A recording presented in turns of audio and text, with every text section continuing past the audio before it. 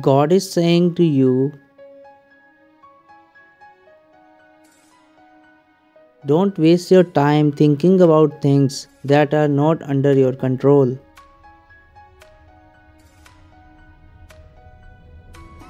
Be prepared to deal with the situation the way you show enthusiasm in the beginning.